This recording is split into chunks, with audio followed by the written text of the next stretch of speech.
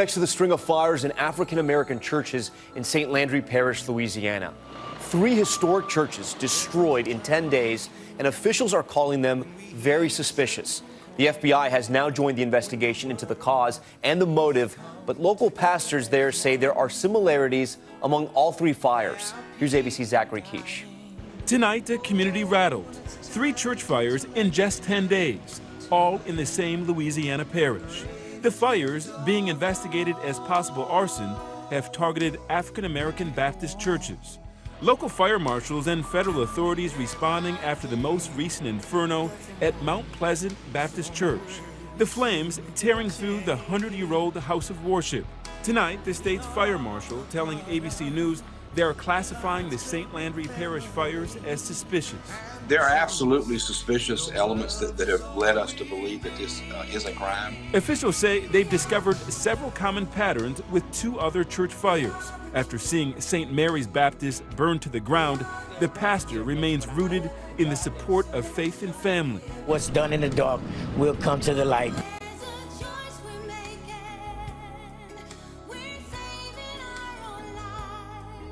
Thank you all very much for coming out.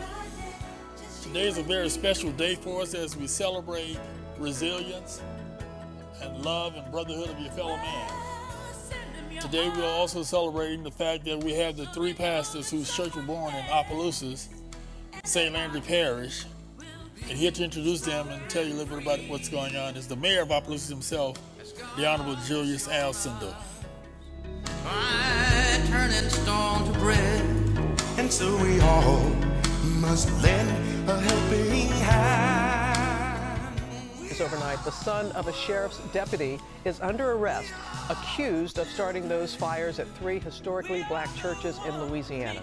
Steve Osunsami joins us now with the latest. Good morning, Steve. Good morning to you, Robin. The governor of Louisiana is making this announcement this morning with the ATF, the state fire marshal, and the FBI by his side. They are calling what happened despicable. Indeed, a pleasure to be here today with these three fine gentlemen that stand behind me and the national president of the Baptist Association. Let me first introduce the three gentlemen to my immediate left here. Pastor Kyle Sylvester, St. Mary Baptist Church in Port Barre, Louisiana. Pastor Gerald Toussaint, Mount Pleasant Baptist Church in Opelousas. And the Reverend Harry Richard, Greater Union Baptist Church in the city of Opelousas.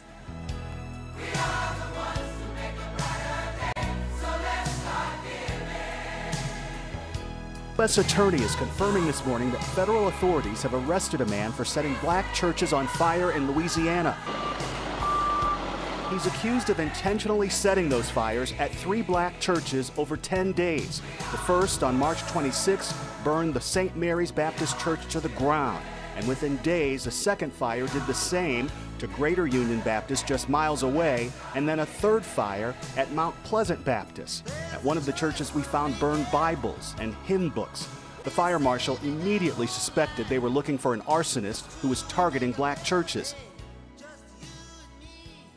Again, our community was impacted by hideous crimes committed by a young man who all of these pastors here to my left has continued to give him prayers to him and his family. Because when things like this happens, there's something else going on. So we all need to continue to pray for that young man and pray for his family. But we have come together in the city of Opelousas and Port Barre, Louisiana, because we are a resilient community, community that comes together when there's a time for need. And I'm sure each of these pastors here will echo those same words when an opportunity presents itself for them to speak here.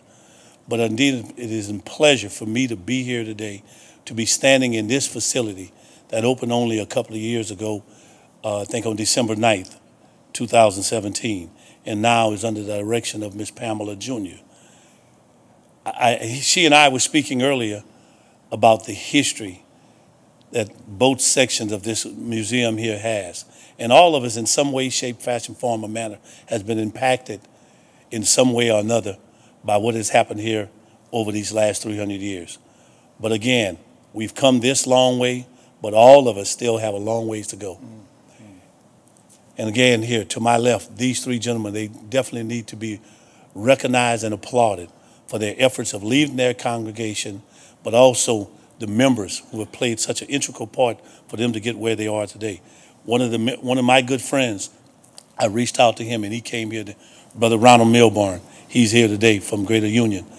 So you have that community, you have that family that is here supporting in the city of Opelousas. And I can tell you, as the representative and the mayor of the great city of Opelousas, we have done each and every day try to do the best that we can to give hope, give helping hands, and support.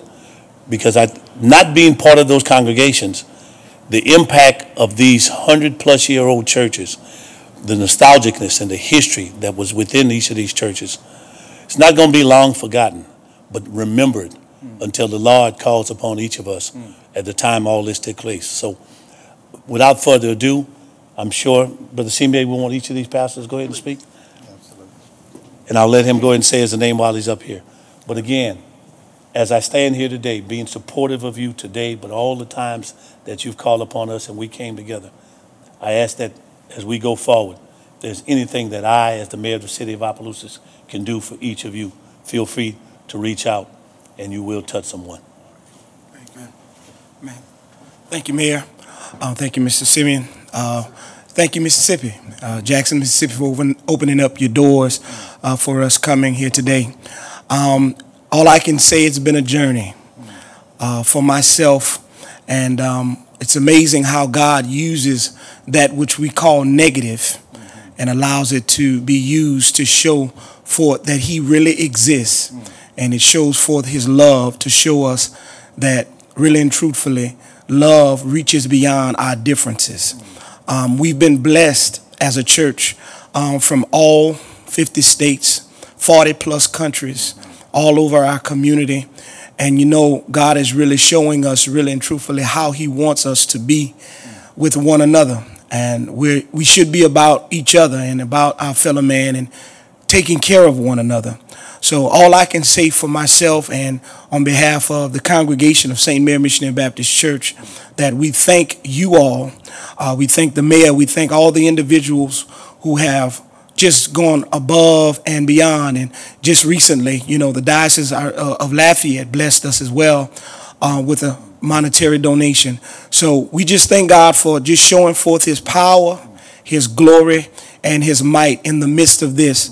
And um, even though um, it was tragic when it happened, God allowed a negative to bring about a positive.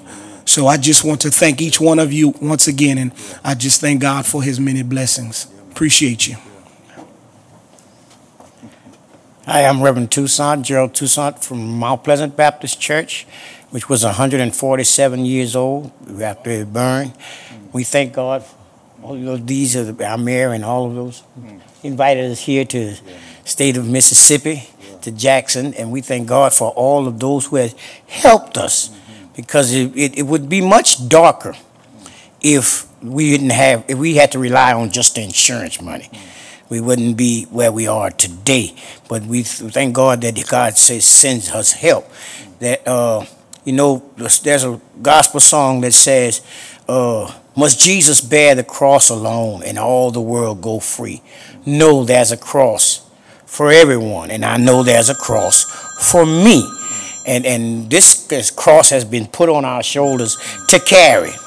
But I'm not I'm not ashamed to carry this cross because I know that everything's gonna come out better.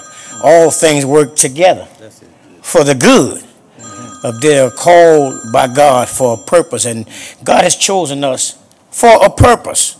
And we have to fulfill that purpose. I wish somebody quit calling me, but we, we uh, uh, for that purpose. But I thank God for all of the states, all of the people that came to help us to rebuild our, our congregation and our churches. It's not easy to keep on and holding on to the congregation without their building. But now that we've had all the help, we're going to put up something that will glorify God. And I thank God for the opportunity to be used to lead these people back into their congregation. God bless you. May God forever keep you as I help. My name is Pastor Harry Richard from the Greater Union Missionary Baptist Church from Opelousas, Louisiana. It's my pleasure and honor to be here today to uh, fellowship with these brothers and the mayor and uh, all of my brothers and sisters here in Mississippi. We're, we're more than happy for the way that God has blessed us. Uh, I believe that this uh, activity or these times have brought us closer together. And I think that God is using this activity, this moment in time to gather this whole nation. We're so grateful for what uh, the nation has done for us. And uh, I can't say thank you enough. But the, the fires of the church are out, but our lives are still burning. And we're asking everyone to pray for us that God will keep us together and make us stronger. I thank you all for all that y'all have given and what y'all will give. God bless y'all and may keep you. 17 years ago, we, we uh, started a journey to make Louisiana and Mississippi communicate. And thus our coalition was born. And of those, the 10 of the last 17 years, our president and executive director has been the Honorable W.T. Winfield of Baton Rouge. Another founding member is in the audience, Miss Alice Tisdale, our distinguished colleague from across the river. But at this time, we'd like Mr. Winfield to say a few words. Yes, we are happy to have had a coalition between Louisiana and Mississippi where we come together and try to network to bring leaders and and concerns of people all across both states together.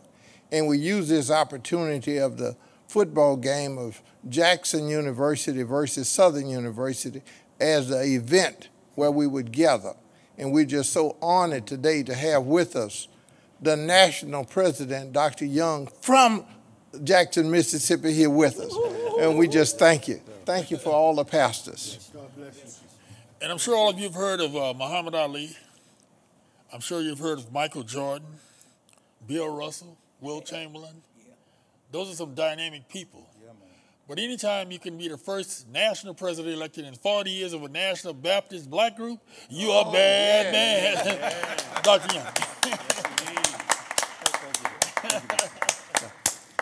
I am so delighted and so privileged to be here, and particularly to be here with these persons who have uh, demonstrated, in the real sense, what it means to be faithful to God and to His purpose. For those of us who are committed to His purpose, we have the authority to count on His presence. And so I am delighted for that reason. Secondly, uh, the National Baptist Convention, through the Louisiana Baptist Convention, right. uh, has been involved in trying to make sure that we could do what we could do in order to help these persons. And what we have done is no indication of what we shall do to make sure that they are whole. Yes. I, I say emphatically, without any question, that what is most applicable in this case, I believe, is what happened to Joseph. Joseph's brothers did him a misdeed. He ended up in prison. Uh, he ended up in Potiphar's house. Uh, he ended up in a pit, in a hole. I mean, this guy went through a whole lot.